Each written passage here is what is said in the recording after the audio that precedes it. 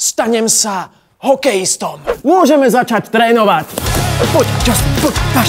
Najdôležitejším skillom hokejistov je balenie čajoček, ako sa hovorí, nedá ti, nedostaneš, poďme si to pekne rozkresliť. Ty chceš byť hokejista? Však máš postavu jak rozliskávačka.